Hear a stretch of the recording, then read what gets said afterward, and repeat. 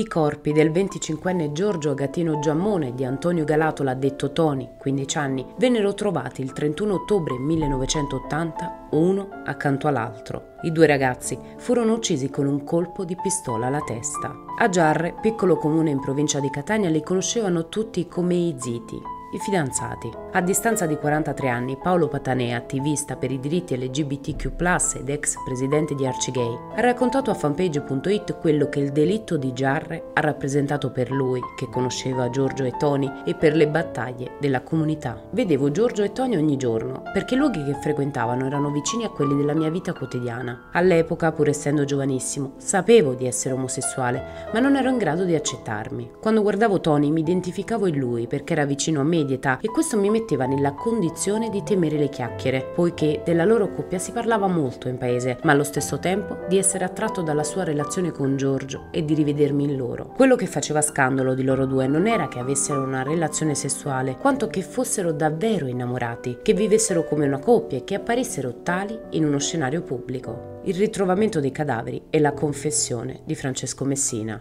Giorgio in paese era chiamato in modo dispregiativo Pupuco Bollo in siciliano omosessuale con il bollo, perché era stato sorpreso in altra circostanza e con persone diverse in atteggiamenti intimi dalla polizia. Aveva ormai questo appellativo attaccato addosso e lui era sicuramente uno su cui si riversavano molte chiacchiere, ma non credo che fossero stati oggetto di atti come coppia, ma erano oggetto di derisione e maldicenze. Questo sicuramente. Neppure il ritrovamento dei cadaveri dei due ragazzi a due settimane di distanza dalla loro scomparsa riuscì all'epoca ad attenuare l'atteggiamento derisorio nei loro confronti. Quando scomparvero si diceva in modo ironico che avevano fatto la fuitina e che era stato sicuramente Giorgio ad aver portato via Tony. Ma più passavano i giorni più aumentava la preoccupazione. Le persone hanno cominciato a pensare che potesse essere accaduta una disgrazia e che quando sono apparsi i cadaveri la tragedia è esplosa e le persone sono rimaste sotto shock. All'improvviso il paese si è trovato di fronte al rischio che ci fosse un assassino a piede libero per Giarre, anche se la tendenza è sempre stata quella di trovare un colpevole facile. Prima in Giorgio, dicevano che era stato lui a spingere Tony al suicidio, poi quando hanno trovato la pistola sepolta poco distante nel nipote di Tony, Francesco Messina, un minore di 14 anni.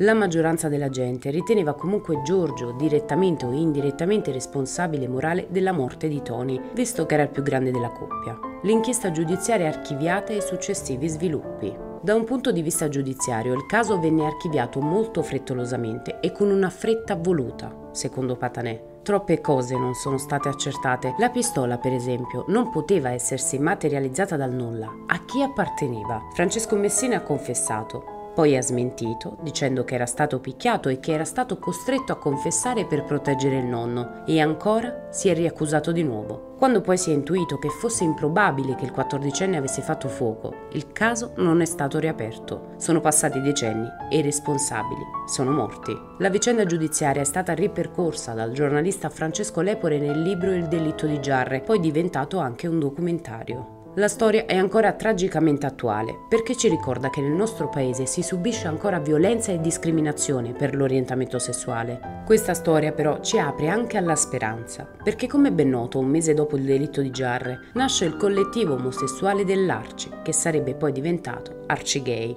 Niente e nessuno potrà restituire la vita che avrebbero potuto avere e questo è spaventoso pensarlo. Loro non volevano dimostrare qualcosa a qualcuno, volevano vivere la loro vita e non potevano immaginare che questo li avrebbe uccisi e trasformati in memorie ed eroi.